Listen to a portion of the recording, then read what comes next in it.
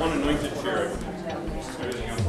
Childhood obesity, undernourishment is a national epidemic, and it's more than a health issue. You know, it's, it's an economic issue. We talk about nutrition a great deal. I'm not sure the implementation of programs are where we would like it to be. If a child doesn't have proper nutrition, they can't learn.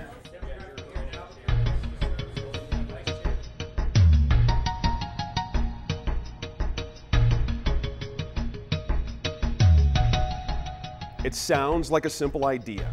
Make sure our kids are eating healthy. But too often in New Mexico, that just isn't happening at home, either because of circumstance, family hardship, or even parental neglect. That lack of nutrition has a big impact in the classroom, where students may struggle to concentrate when their tummies are grumbling. And it's the schools that are often left to fill the gap through their free lunch and reduced breakfast programs. But should it be the role of schools to feed our children's stomachs as well as their minds? This week on New Mexico in Focus, we continue our special Public Square series by tackling that question and much more as we put the spotlight on childhood nutrition. Public Square is our way of bringing people together for an honest and insightful conversation about the state's next generation of leaders, business owners, artists, and great thinkers. I'm talking, of course, about our youth. The community members graciously give their time and talents to hash out their concerns and challenges and then offer possible solutions to a group of policymakers, community leaders, and advocates who can take their ideas and turn them into action. We have six public square events planned leading up to next year's legislative session. All of our community members this month have a vested interest in the topic of nutrition in our schools, and they had no shortage of opinions on why this is a topic that should be important to every New Mexican.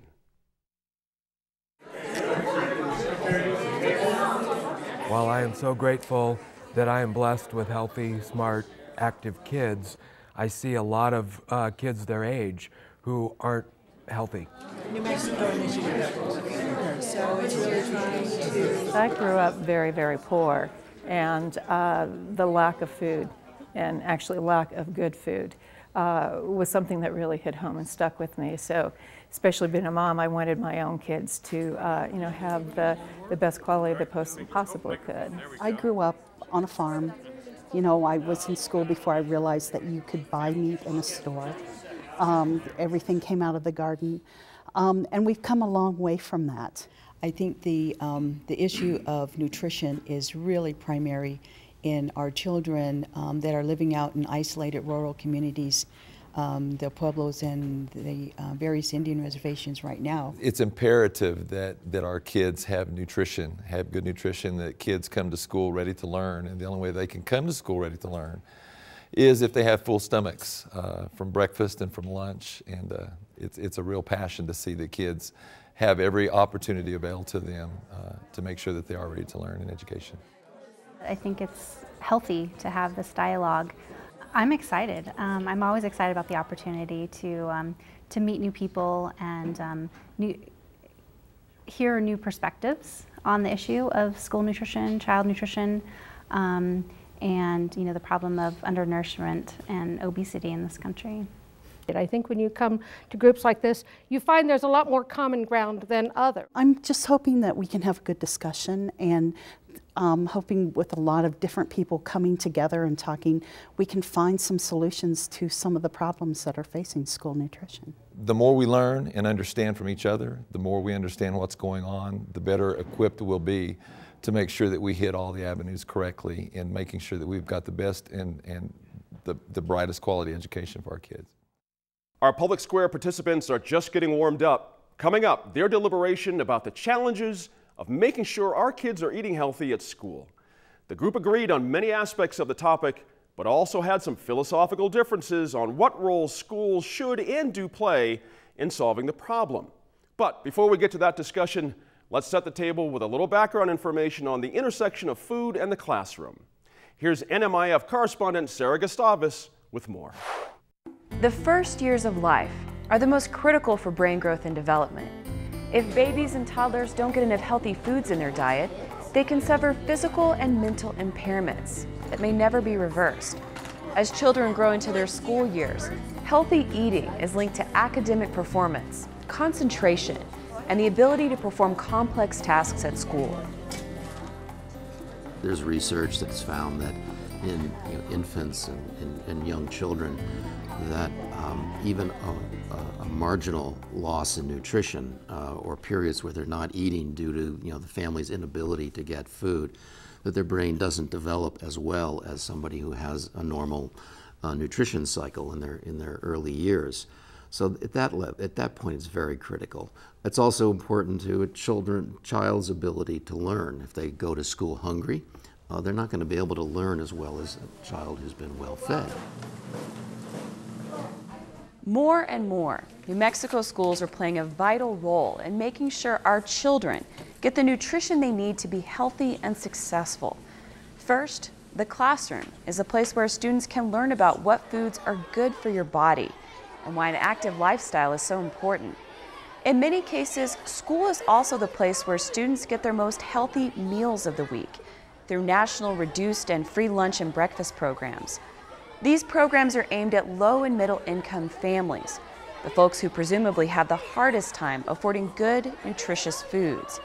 Currently in New Mexico, more than 200,000 students participate in the school lunch program. But as the economy continues to struggle, the question becomes how far should schools go to promote nutrition and health? Should free breakfast and lunch programs be offered to all children enrolled in school? Advocates for expanded school food programs argue they'll improve education by making children more prepared. Opponents argue that the national debt is ever growing, and this is not the time to expand social programs. Opponents also argue that feeding children is fundamentally the role of the family, not the schools. Most people would agree the real reason to focus on childhood nutrition is today's children are tomorrow's teachers, doctors, builders, scientists, and entrepreneurs.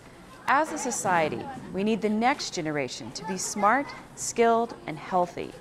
Most people would probably also agree that as of right now, many in that generation are not on track to be healthy.